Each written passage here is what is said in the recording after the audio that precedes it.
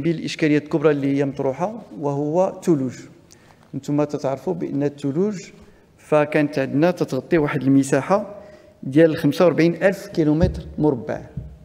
اليوم هذه السنة كان فقط 5000 كيلومتر مربع.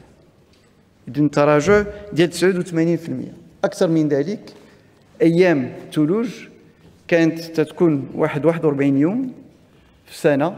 هذه السنة فقط 14 يوم في السنة. اذا حتى بالنسبة للمخزون المائي النتيجة ديال الثلوج فهو عرف واحد التراجع كذلك زيادة على التساقطات المطرية.